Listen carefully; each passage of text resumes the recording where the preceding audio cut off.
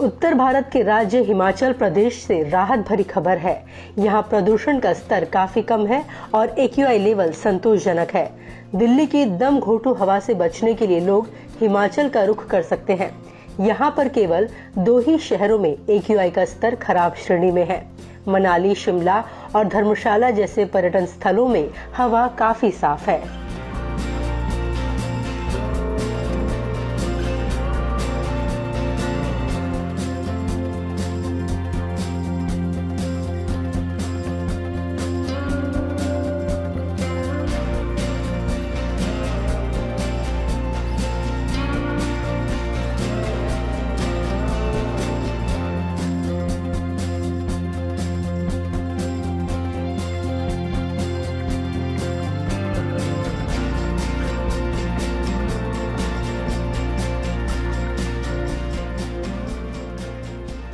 भी अपडेट्स जानने के लिए नवभारत को लाइक शेयर और सब्सक्राइब करें।